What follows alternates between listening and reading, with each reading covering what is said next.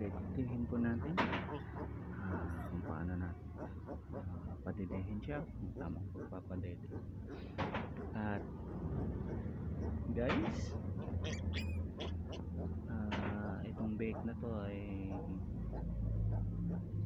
napulot lang. Dyan sa malapit sa kanan kasi yung nanay doon nang anak kamatay yung mga ibang bake so umiiyak na po siya. Gusto niya ng dumede. Padededehin na po natin. Ay! Di niya makuha. Kasi gutom na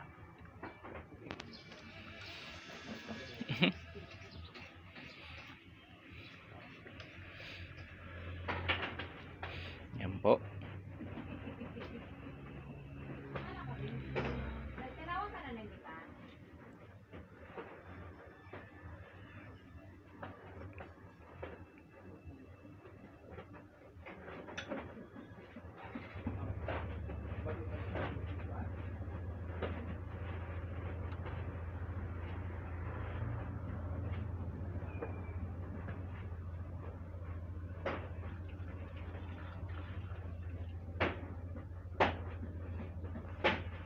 may dede na po siya.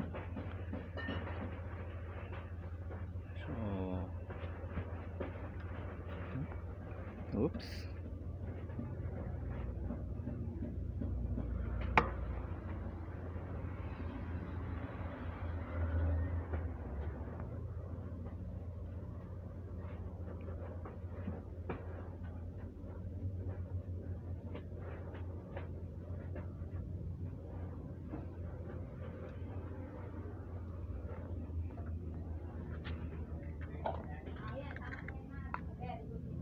hey. Yung stop muna natin ha